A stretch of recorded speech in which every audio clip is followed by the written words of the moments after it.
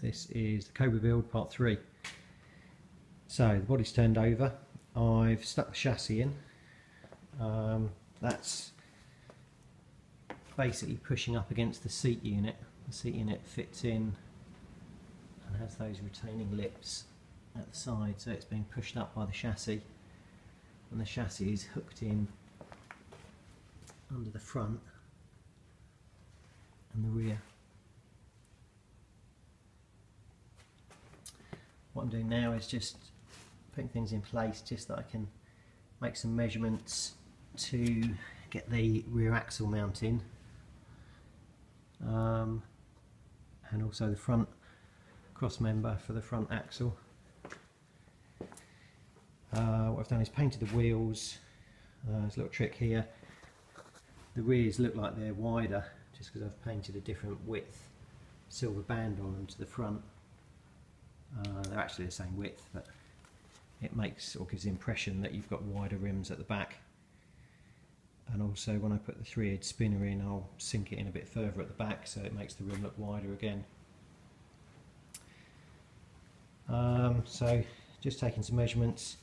The problem with fiberglass bodies is sometimes they're not quite square so even if you build a perfectly square chassis you might not get the same uh, tyre clearance each side.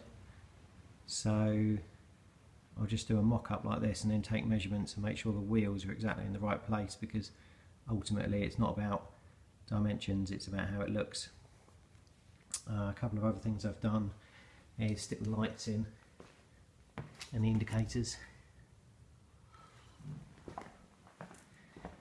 and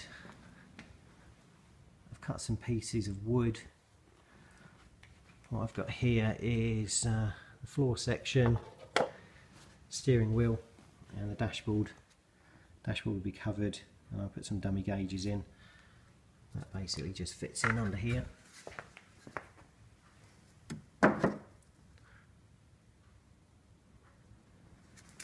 And that front section there is the floor. That fits in there in front of the seat unit. And steering wheel this is just a part way through. It's a turned um, mahogany rim. And then you have to break it basically to uh, to get it to fit around the steering wheel. But uh, usually they go together pretty good.